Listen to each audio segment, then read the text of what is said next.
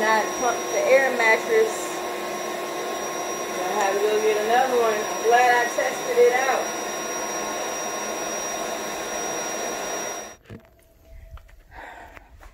So at the end of the day, I tested out the two-man tent with the um, with the Goal Zero 150. I I tried to go cheap with it, but I think I'm just gonna have to go and get the 400. I was hoping it would at least charge the air mattress. Uh, I mean, not charge, but have enough wattage to inflate the air mattress, but obviously it doesn't. So I'm gonna have to go with a large, larger uh, wattage for the uh, for the battery. So that's cool. And um, I gotta do all this by.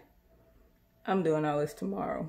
So I thought maybe I would need to get a four man tent, but I think I think we're gonna be fine with the two man.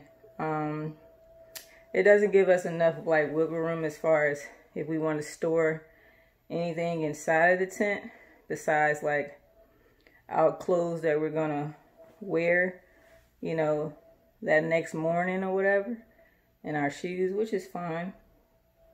Um, so cool.